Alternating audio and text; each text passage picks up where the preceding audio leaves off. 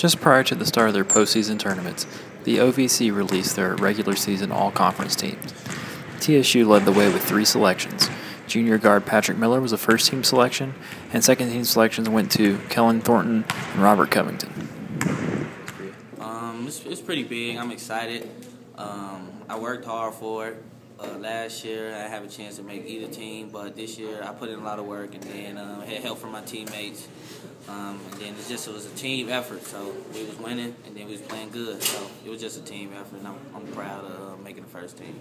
So you on the first team, Rob and Kellen on the second team. You got three guys in the starting lineup that are you know all conference type of players. Is that What's that say about this program that you guys are to this point? Uh, that we moving in the right direction. Um, I feel like um, if Rob would not got, if he wouldn't got hurt, he would have been probably on the first team, and I feel like Kellen should have been on the first team this year too.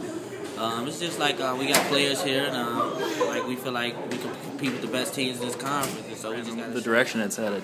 Uh, it's, it's showing that it's going in the right uh, direction. Uh, we show that we worked hard here. Uh, our coaches do a good job of training us during the off season and helping us getting our game right. And uh, uh, Coach Williams puts us in a good job to get easy baskets and defensive as well. So everything is cool though. This program.